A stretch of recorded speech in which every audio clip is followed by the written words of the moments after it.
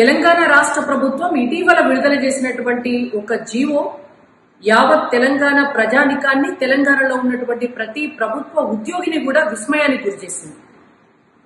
ఉద్యోగుల హక్కులను ఉద్యోగుల భద్రతను కాపాడాల్సినటువంటి ఉద్యోగ సంఘ నాయకులే తమ కుటుంబ సభ్యుల కోసము తన బంధుమిత్రుల కోసము వాళ్ళ స్వలాభం కోసము ఒక ప్రత్యేకమైనటువంటి జీవోను ప్రభుత్వం చేత విడుదల చేయించడం అనేటువంటిది ఇవాళ మొత్తం యావత్ తెలంగాణ రాష్ట్రంలో ఉన్నటువంటి ఉద్యోగులందరి హక్కులను కూడా తీసుకెళ్ళి ప్రగతి భవన్లో తాకట్టు పెట్టడం అనేటువంటిది చాలా విస్మయానికి గురి చేస్తోంది.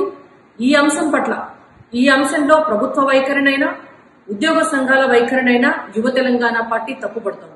ఉమ్మడి రాష్ట్రంలో వివక్షకు గురవుతున్నామని చెప్పి తెలంగాణ ఉద్యమంలో కీలకంగా వ్యవహరించి సకల జనుల సమ్మెను కూడా చేసినటువంటి ఉద్యోగులు ఇవాళ స్వరాష్ట్రంలో వివక్షకు గురవుతున్నారు నిర్లక్ష్యానికి గురవుతున్నారు ఉద్యోగ సంఘాల నాయకుల చేతిలో మోసానికి గురవుతున్నారు ఇటువంటి నేపథ్యంలో ఉద్యోగుల పక్షాన తెలంగాణలో ఉన్నటువంటి ప్రతి ప్రభుత్వ ఉద్యోగి పక్షాన అటు ప్రభుత్వానికి ఇటు ముఖ్యమంత్రికి ఇటు ఉద్యోగ సంఘ నాయకులకు కూడా యువ తెలంగాణ పార్టీగా మేము కొన్ని ప్రశ్నలను అడుగుతున్నాము.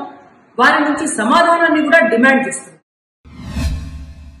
ముఖ్యమంత్రి గారు తెలంగాణలో ఉన్నటువంటి ఉద్యోగుల పదవీ విరమణ వయస్సును యాభై ఎనిమిది ఏళ్ళ నుంచి అరవై ఒక ఏళ్ళకు పెంచుతున్నామని మీరు హామీ ఇచ్చారు. ఇయాటి వరకు ఆ హామీ ఎందుకు అమలు అయితలేదు? అది అమలవ్వకపోగా ఉద్యోగ సంఘ నాయకుల కుటుంబ సభ్యులు బంధుమిత్రుల పదవీ కాలాన్ని మాత్రం రెండు రెండేళ్ళు మూడేళ్ళు పెంచుతూ మీ ముఖ్యమంత్రి కార్యాలయం నుంచే వ్యక్తిగత జీవోలు ఎందుకు విడుదలవుతున్నాయి? దీని వెనుక మీకు ఉద్యోగ సంఘ నాయకులకు మధ్య ఉన్నటువంటి మతలబేది ఇది ఉద్యోగులను మోసం చేయడం కాదా? ఉద్యోగ సంఘ నాయకులారా మీరు ఉద్యోగుల హక్కులను కాపాడాల్సినటువంటి గౌరవప్రదమైనటువంటి స్థానంలో ఉండి ఆర్టీసీ సమ్మె చేసినాడు గాని ఇతర ఉద్యోగ సంఘాలు సమ్మె చేసినాడు గాని వాళ్ళకు సపోర్టుగా నిలవకుండా కేవలం మీ స్వార్థ వ్యక్తిగత ప్రయోజనాల కోసం ఉద్యోగుల హక్కులన్నింటినీ కూడా ప్రగతి భవన్ గడి దగ్గర తాకట్టు పెట్టడం ఎంతవరకు సమంజసం? ముఖ్యమంత్రి గారు మాదే నెంబర్ వన్ రాష్ట్రం భారతదేశంలో ధనిక రాష్ట్రం నేనే నెంబర్ వన్ సీఎం అని చెప్పుకొని భారతదేశం మొత్తం అన్ని రాష్ట్రాల్లో పత్రికా ప్రకటనలు మొదటి పేజీలో వేల కోట్లు ఖర్చు పెట్టి ఇచ్చుకున్నటువంటి మీరు లాక్డౌన్లో ప్రభుత్వ ఉద్యోగుల జీతాల్లో ఎందుకు కోత విధించారు? పక్కనున్నటువంటి లోటు బడ్జెట్ రాష్ట్రం ఉద్యోగులకు పూర్తి జీతాలు ఇస్తుంటే ధనిక రాష్ట్రం అని చెప్పుకుంటున్నటువంటి మీరు సగం జీతం ఉద్యోగులకు ఇవ్వటం అనేటువంటిది మీ పరిపాలనా వైఫల్యం కాదా? ఉమ్మడి రాష్ట్రంలో వివక్షకు గురవుతున్నాము స్వరాష్ట్రం వస్తే మా బతుకులు బాగుపడతాయి అనుకున్నటువంటి ఉద్యోగులకు స్వరాష్ట్రంలో వాళ్ళ హక్కైన పీఆర్సీ ఐఆర్ల చెల్లింపుల్లో ఎందుకు జాప్యం జరుగుతుంది? ఉమ్మడి రాష్ట్రం కంటే ఇవాళ వాళ్ళ జీతభత్యాల విషయంలో ఎందుకు అంత అధ్వాన్నమైనటువంటి స్థితి ఉంది? ఎందుకు మీరు ఉద్యోగుల పట్ల అంత వివక్షను చూపిస్తున్నారు? పదవీ విరమణ తర్వాత తమ జీవన భద్రతకు మూలమైనటువంటి పెన్షన్ విషయంలో సిపిఎస్ విధానం వల్ల తమకు నష్టం జరుగుతుంది సిపిఎస్ రద్దు చేయాలి అని చెప్పి ఒక దిక్కు ఉద్యోగులంతా కూడా నెత్తి నోరు మొత్తుకుంటుంటే ఈ రోజు వరకు కూడా మీ పార్టీ గాని మీ ప్రభుత్వం గాని సిపిఎస్ రద్దు విషయంలో ఎటువంటి స్పష్టమైనటువంటి వైఖరి ఎందుకు ప్రకటించలేదు?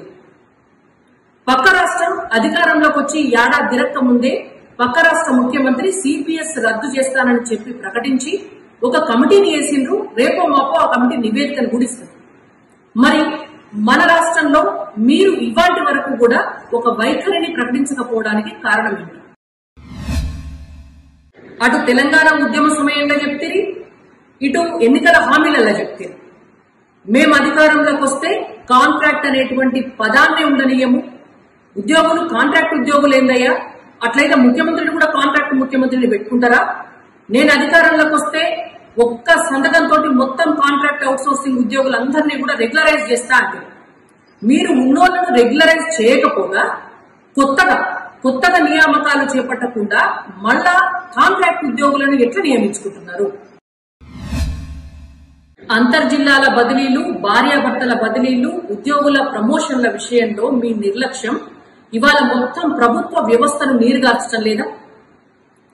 మీరు ఈ బదిలీలు ప్రమోషన్లు ఎప్పుడు ఎలా చేస్తామని చెప్పడానికి ఒక ఉద్యోగ క్యాలెండర్ను ఎందుకు విడుదల చేయడం లేదు?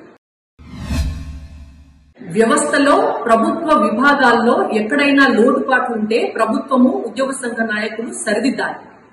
అది పక్కకు పెట్టి వాటి పట్ల ఆయా విభాగాల పట్ల ఒక దిక్కు ప్రభుత్వము మరో దిక్కు ఉద్యోగ సంఘ నాయకులు ఒక వ్యతిరేకమైనటువంటి మాటలు మాట్లాడి దాని ద్వారా ప్రజల్లో ఒక వ్యతిరేకతను కక్షను ఆయా విభాగాలు ఆ ఉద్యోగుల పట్ల ఏర్పడేటట్టు చేసి దాడులకు హత్యలకు ప్రేరేపించడం అనేటువంటిది మీ కక్ష సాధింపు చర్య కాదా?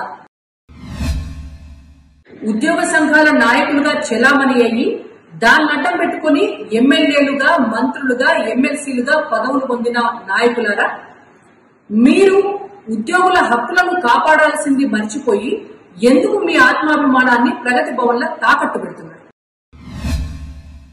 ఉమ్మడి రాష్ట్రంలో ఇవేమి ఉద్యోగుల సర్వీస్ రూల్స్ అయ్యా గిన్ని పేజీలు గిన్ని కట్టలు ఉంటాయా? రేపొద్దున తెలంగాణ రాష్ట్రం వస్తే మేము అధికారంలోకి వస్తే మమ్మల్ని మేము పరిపాలించుకుంటే ఒక్క పూటల నలుగురం కూర్చొని రెండు పేజీలలో సర్వీస్ రూల్స్ రాసిస్తాము అని చెప్పినటువంటి మీరు ఇవాళ ఆరేళ్ళైనా ఉద్యోగులకు సర్వీస్ రూల్స్ కొత్తవి ఎందుకు తీసుకొస్తలేరు? మీకు ఆ ఒక్క పూట నలుగురు మనుషులు రెండు పేజీలు దొరుకుతలేవా? ప్రభుత్వము ఉద్యోగ సంఘ నాయకులకు లబ్ధి చేకూరే విధంగా జీవో విడుదల చేసిన తర్వాత ఈ రెండు రోజుల నుంచి చాలా మంది ఉద్యోగ సంఘాల నాయకులు అలాగే ఉద్యోగస్తులు పదవి విరమణ పొందినటువంటి పెద్దలు వీళ్ళంతా కూడా యువ తెలంగాణ పార్టీ ఆఫీస్కి ఫోన్ చేయడం జరిగింది. వాళ్ళ బాధను వ్యక్తపరచడం జరిగింది. ఇవాళ తెచ్చుకున్న తెలంగాణలో ఉద్యోగుల బతుకులు ఎట్లా ఆగమవుతున్నాయో కూడా చెప్పడం జరిగింది. కాబట్టే తెలంగాణ రాష్ట్ర సాధనలో తమ ఉద్యోగాలను సైతం పనంగా పెట్టి చరిత్రలోనే ఎక్కడ కూడా ఏ దేశంలో కూడా జరగనంత ఉవ్వెత్తున సకల జనుల సమ్మెను చేసి మా తమ ఉద్యోగాలు పోయినా పర్వాలేదు అనుకున్నటువంటి ఉద్యోగులు ఇవాళ స్వరాష్ట్రంలో బాధపడుతున్న నేపథ్యంలో యువ తెలంగాణ పార్టీగా మేము తప్పకుండా ఉద్యోగుల పక్షాన నిలబడతాం. ఉద్యోగుల హక్కు కోసం హక్కుల కోసం వాళ్ళు పోరాటం చేసినటువంటి ఏ పోరాటంలోనైనా మా మద్దతు ఉంటుంది. వాళ్ళ హక్కులను సాధించుకునే విషయంలో అటు ప్రభుత్వాన్ని కావచ్చు ఇవాళ అమ్ముడుపోతున్నటువంటి ఉద్యోగ సంఘ నాయకులను కావచ్చు ప్రశ్నించే విధంగా యువ తెలంగాణ పార్టీ ఎప్పుడూ కూడా ముందుంటది ఉద్యోగుల పక్షాన ఉంటదని చెప్పి మేము హామీ ఇస్తాం.